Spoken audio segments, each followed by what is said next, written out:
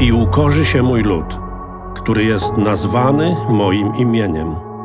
I będą się modlić i szukać mojego oblicza i odwrócą się od swych złych dróg, to ja wysłucham z niebios i odpuszczę ich grzechy i ich ziemię uzdrowię. I dam wam serce nowe i ducha nowego dam do waszego wnętrza. I usunę z waszego ciała serce kamienne, a dam wam serce mięsiste.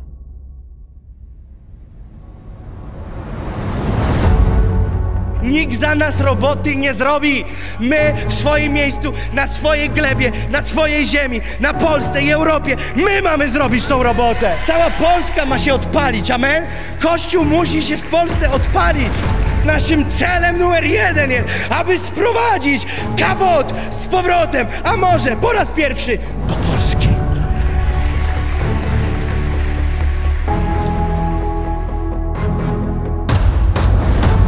Obawiam się o to, żeby ci z nas, którzy dzisiaj słuchają tych słów proroczych mówiących o przebudzeniu, abyśmy nie dołączyli do wszystkich tych, którzy w przeszłości słyszeli i dzisiaj chodzą z bólem serca. Więc wierzę, że to jest nasz czas. Ale musimy być ostrożni, żeby nie przyjąć fałszywej koncepcji tego, że to oznacza, że w przyszłym tygodniu coś huknie z nieba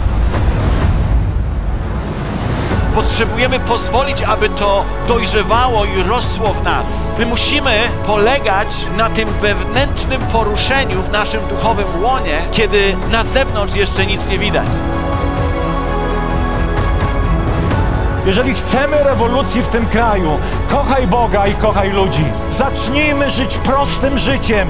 Kiedy widzisz, że ktoś jest w potrzebie, pomóż mu na miarę swoich możliwości. Okaż mu szacunek, powiedz mu dobre słowo, popilnuj jego dzieci. Nie traktuj niewierzących sąsiadów jako wrogów. My ciągle się boimy tego świata i z nim walczymy. A należy kochać ludzi, po prostu załatwić ich miłością, każdego bez wyjątku, okazywać im szacunek, okazywać im miłość, okazywać im dobro. To jest coś, co zmieni ten świat, a nie to, że jesteś wystraszoną, małą twierdzą.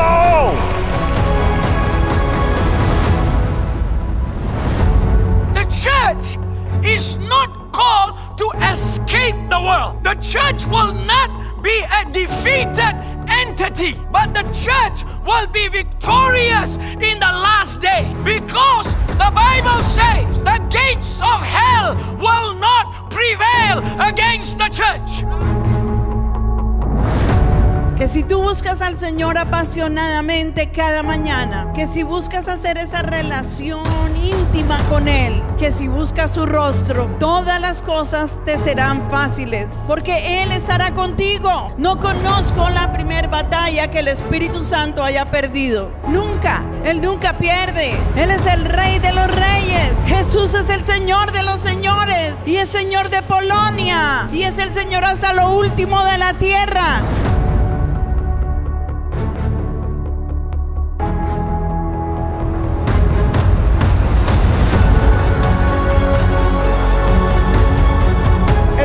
Espíritu Santo.